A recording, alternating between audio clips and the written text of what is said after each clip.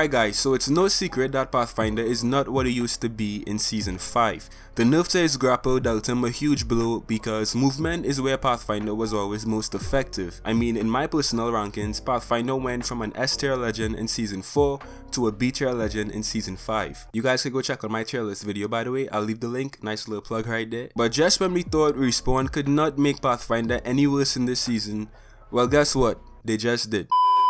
I'm gonna try to explain to you guys why Pathfinder might be getting even worse in Season 5 because of Crypto and Bloodhound. As always, if you guys do enjoy, be sure to leave a like and you, yeah you're watching this video, you're still not subscribed. Click subscribe to get an heirloom in your next Apex pack.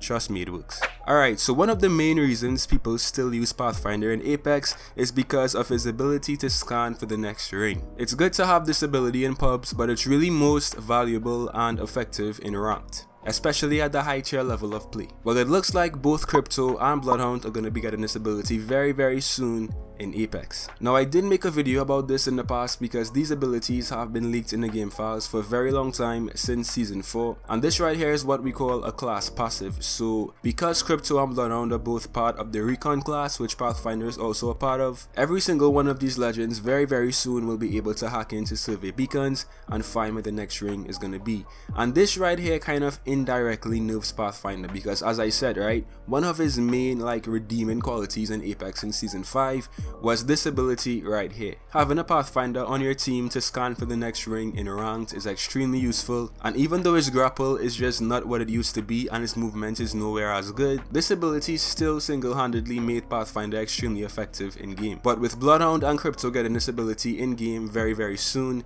it kinda makes Pathfinder a bit useless. I honestly kind of feel sorry for Pathfinder mains right now because I think his original nerf in the beginning of season 5 was just way too drastic because changing a 15 second cooldown to a 35 second cooldown especially for someone like Pathfinder is a very very big deal. And now, one of the only abilities that really set Pathfinder apart in ranked and made him so effective is being given to Bloodhound and Crypto. So who knows what this means for Pathfinder in season 5. Will he still be good? Will Respawn give him a brand new just like OP ability? Who knows?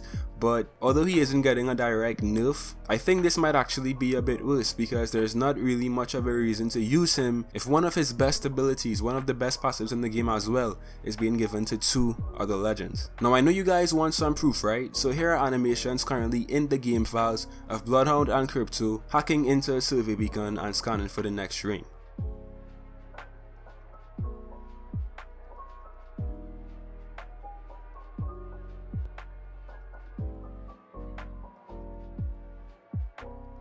We also have the actual voice lines of both Crypto and Bloodhound hacking into these survey beacons. Chua, I found the next ring location. Chua, I found the next ring location. Chua, I found the next ring location. Scanning for the next ring on my minimap. Scanning for the next ring on my minimap. Scanning for the next ring on my minimap. I have located the next ring. I have located the next ring. I have located the next ring.